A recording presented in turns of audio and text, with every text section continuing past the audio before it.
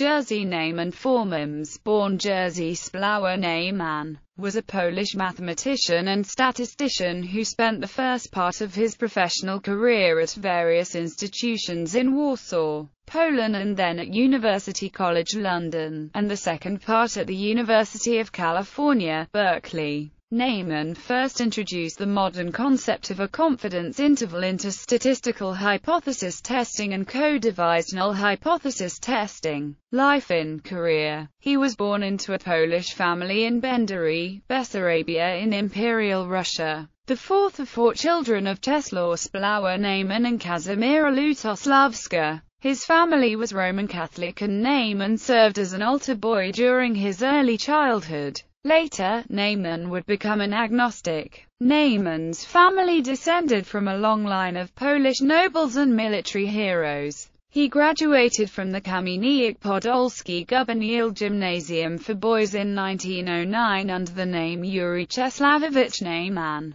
He began studies at Kharkov University in 1912, where he was taught by Russian probabilist Sergei Natanovich Bernstein. After he read lessons on the integration and the research of the primitive functions by Henri Lebesgue, he was fascinated with measure and integration. In 1921 he returned to Poland in a program of repatriation of POWs after the Polish-Soviet War. He earned his Doctor of Philosophy degree at University of Warsaw in 1924 for a dissertation titled, On the Applications of the Theory of Probability to Agricultural Experiments. He was examined by Wacław Sierpiński and Stefan Mazurkiewicz, among others. He spent a couple of years in London and Paris on a fellowship to study statistics with Karl Pearson and Émile Borel. After his return to Poland he established the biometric laboratory at the Nencki Institute of Experimental Biology in Warsaw. He published many books dealing with experiments and statistics, and devised the way which the FDA tests medicines today. Neyman proposed and studied randomized experiments in 1923.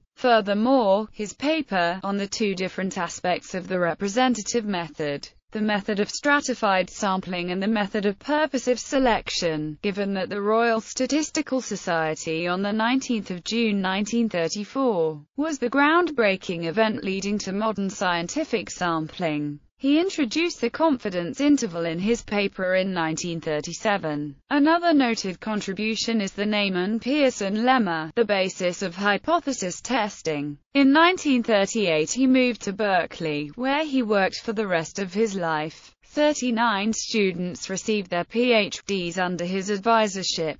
In 1966 he was awarded the Guy Medal of the Royal Statistical Society and three years later the U.S.'s National Medal of Science. He died in Oakland, California in 1981.